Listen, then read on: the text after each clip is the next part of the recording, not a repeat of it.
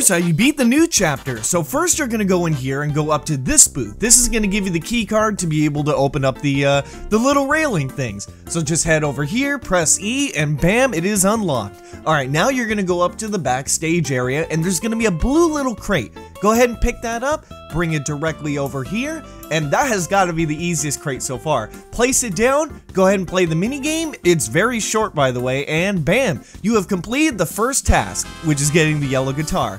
Now, you're going to go all the way back over in this area, uh, and there's actually another crate. This one isn't blue, but you're gonna go up to the booth right next to the dartboards, grab this crate, and this is going to be the other guitar case. So you're gonna go ahead and bring this all the way up here. Now this mini game is actually a lot harder.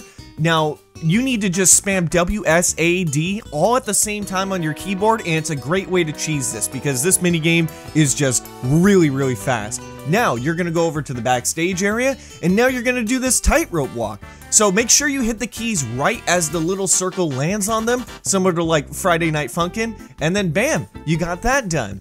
Alright, we're gonna go ahead and move over to the next task, which is the dartboard. So just go over this way, there's the dartboard. Now only click on the darts when they're either at the very top or at the very bottom of the screen, so you don't risk missing. And bam, that's all done. Now you're gonna go over to the final task. So make sure you go outside. There's gonna be a big blue box right there. You're gonna go ahead and bring it over to the drum kit area because, well, of course it's the drums.